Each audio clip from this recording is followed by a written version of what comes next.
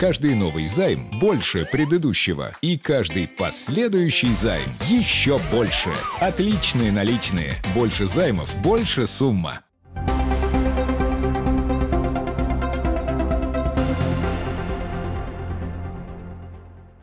Сегодня в Доме правительства прошло торжественное собрание вручения государственных наград представителям разных отраслей республики в честь Дня народного единства и столетия Октябрьской революции. В канун Дня народного единства от всей души от имени моих коллег от правительства республики, парламента Тувы желаю всем вам крепкого здоровья, новых побед в мирном созидательном труде, счастья вам и вашим семьям. Некоторые ветераны труда сегодня были отмечены государственными наградами не только Тувы, но и Российской Федерации. За многолетнюю работу в области здравоохранения звание почетного врача России удостоена Наталья Беспалова, одна из основоположников детской хирургии республики. Я хочу всех вас поблагодарить за столь высокую оценку моего труда. Есть две профессии на свете, которые даются Богом. Это профессия врача, профессия педагога. Я благодарна Всевышнему, что Он одарил меня этой профессией. Также вручались и памятные медали столетия единения России и Тувы за заслуги перед республикой ветеранам труда Киму Данзенолу и Александру Иргиту. В честь праздника единства и сплоченности благодарственными письмами правительства Тувы были отмечены и члены Ассамблеи народов республики. От своего имени лично и от имени руководства всей России по республике Тува выражаю огромную благодарность за то внимание, за ту заботу, которую вы проявляете о наших сотрудниках и о наших исследователях. Спасибо большое.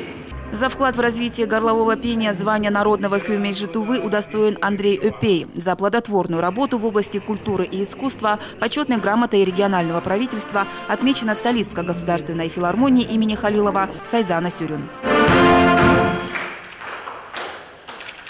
В заключение торжественного мероприятия глава Тувы Шалбан Карол отметил важность Дня народного единства для многонациональной страны, как Россия. В праздничные дни в Кызыле будет ограничена реализация алкогольной продукции. 17 октября вышло соответствующее постановление мэрии Кызыла. Согласно ему, 4, 5 и 6 ноября запрещена розничная продажа алкогольной продукции, в том числе и пива во всех торговых точках. Исключение предприятия общественного питания города. Руководителям предприятия общепита рекомендовано снять с реализации в праздничные дни алкогольную продукцию, пиво и напитки, изготовляемые на его основе. На прошлой неделе в Красноярске прошел съезд молодежных правительств инициативных групп Сибирского федерального округа. Тувинскую делегацию возглавил заместитель председателя правительства республики Максим Тунев. Для участников съезда была подготовлена насыщенная деловая и образовательная программа, в ходе которой состоялись встречи с первыми лицами Красноярского края и председателем Ассоциации молодежных правительств России. Также перед участниками выступил руководитель Института молодежной политики Красноярского края Николай Бажитов, который рассказал о ключевых функциях и задачах задачах молодежного правительства региона и ответил на все вопросы собравшихся. По итогам съезда делегация из Тувы представила участникам встречи действующие проекты по молодежному правительству, а также переняла опыт красноярцев по стажировке студентов в правительстве. Именно вот проект Красноярского молодежного правительства э, «Профстажер 24».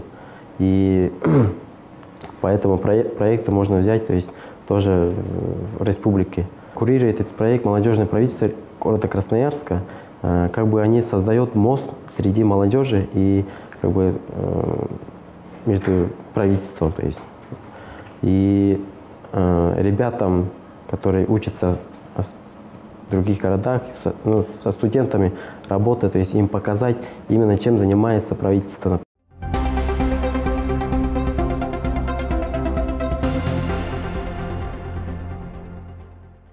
Сумма штрафа за отказ автомобилиста пропустить пешехода на зебре увеличится и составит от полутора до двух с половиной тысяч рублей. Такая норма вводится законом, подписанным 30 октября президентом Владимиром Путиным. Его текст опубликован на портале правовой информации, сообщает издание «Ведомости». До сих пор сумма штрафа была зафиксирована на уровне полутора тысяч рублей. По данным Межрегионального общественного движения «Союз пешеходов» за 2016 год по вине самих пешеходов происходит лишь 12% ДТП на пешеходных переходах. Также 5 октября правительство России одобрило законопроект о народных инспекторах на дорогах. По нему видеозаписи нарушений правил дорожного движения, сделанные гражданами, будут приниматься в качестве официального доказательства правонарушений и станут основанием для наложения штрафов. И о курсах валют. Доллар стоит 58 рублей 16 копеек, евро 67 рублей 71 копейка.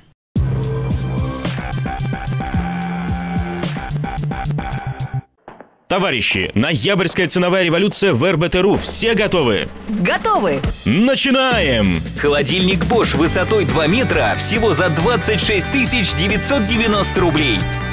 РБТ.ру Информация для мужчин. Только до 10 ноября 2017 года первая и последняя распродажа в магазине «Братишки-Бальчиш». Скидки на весь ассортимент до 50%.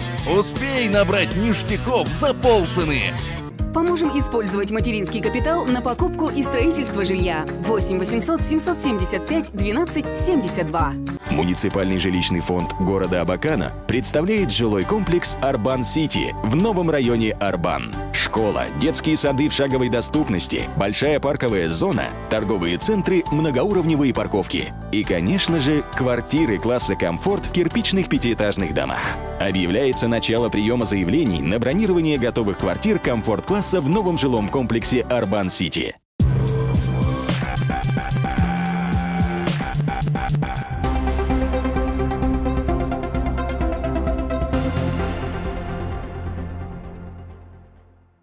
Первого ноября в ходе оперативно-розыскных мероприятий, проводимых в рамках операции «Алкоголь», сотрудники полиции Кызыла выявили факт незаконного оборота немаркированной алкогольной продукции. Так, на территории одного из гаражных обществ города в помещении гаража, принадлежащего местной жительнице, сотрудники обнаружили в 89 коробках 1764 бутылки водки объемом 0,5 литров каждая без федеральных специальных акцизных марок. Указанная алкогольная продукция общим объемом около 900 литров изъята и направлена на экспертизу. По данному факту проводится проверка. Уголовным кодексом России за указанное преступление предусмотрено наказание в виде штрафа в размере до 500 тысяч рублей либо лишение свободы на срок до трех лет. Мероприятия по выявлению и пресечению преступлений и правонарушений в сфере незаконного оборота алкогольной продукции продолжаются.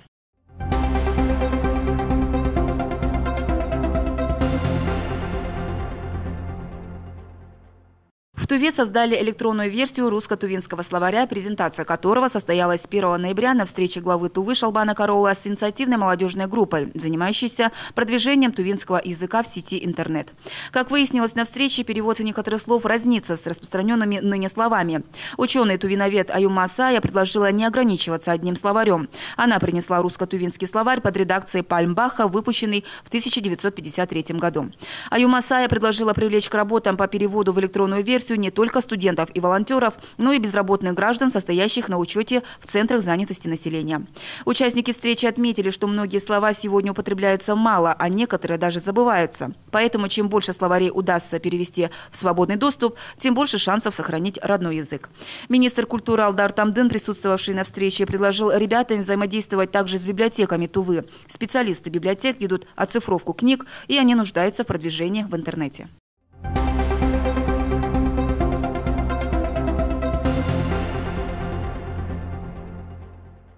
По инициативе коллектива Дзунхемческого ЦКБ в районе 1 ноября объявлено Днем скандинавской ходьбы. Набирающая в Туве популярная скандинавская ходьба по задумке инициаторов станет достаточно эффективным способом борьбы с лишним весом, вредными привычками и, соответственно, профилактикой новообразований и других тяжелых заболеваний. Накануне в городе Чадане состоялось открытие клуба любителей скандинавской ходьбы в рамках приоритетного проекта «Движение против рака». В мероприятии приняли участие администрация Дзунхемческого района и города Чадана, учащиеся средних и общеобразовательных профильных учебных заведений, а также заинтересованные горожане.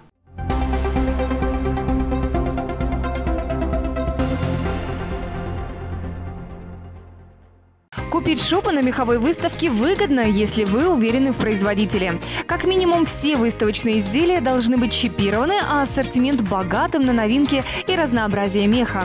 Среди тысячи моделей внимание стоит остановить на самых теплых. В предстоящем сезоне возвращается мода на пушнину, лисицу и писец. Практичный жакет «Трансформер» со съемными рукавами можно считать как зимним, так и демисезонным вариантом. На западе России особенно популярен мех бобра и каракуль. Это одно из самых теплых, носких и экономных вариантов. Шуба обойдется покупателю не дороже 60 тысяч рублей. Модницы к таким моделям пока только присматриваются. Качественную норку видно сразу. Это густой подпушек, блестящий ворс и отсутствие у меха заломов. По словам продавцов, покупательницы обращают все больше внимания на светлые модели. При правильном уходе ворс не желтеет. Актуальный сапфировый оттенок считается более практичным, чем молочный или снежно-белый. Еще один показатель качественного фабричного пошива – количество шуб на выставке. Чем их больше, тем провереннее лекала и шире размерный ряд. Если вы купили шубу без капюшона, то подобрать головной убор можно прямо на выставке меховой компании «Белка», которая работает со 2 по 6 ноября в спортивном комплексе имени Ивана Ярыгина с 10 до 19 часов.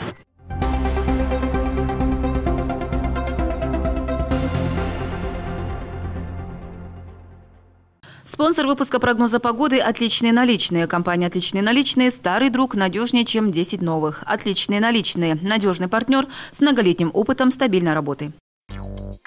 Продлевать срок займа можно бесконечно. Отличные наличные. Удобные условия по займам. В ближайшие сутки по республике ожидается перемена облачность, местами небольшой мокрый снег. Ветер юго-западный от 2 до 7 метров в секунду с порывами до 9-14 метров в секунду. На дорогах гололедица. В Кызыле перемена облачность, небольшой снег. Ветер юго-западный от 2 до 7 метров в секунду. Местами туман. Ночью минус 3, минус 5 градусов, днем 0 плюс 2. Переплата по займам такая маленькая. Совсем малышка. Отличные наличные, но очень маленькая переплата по займам.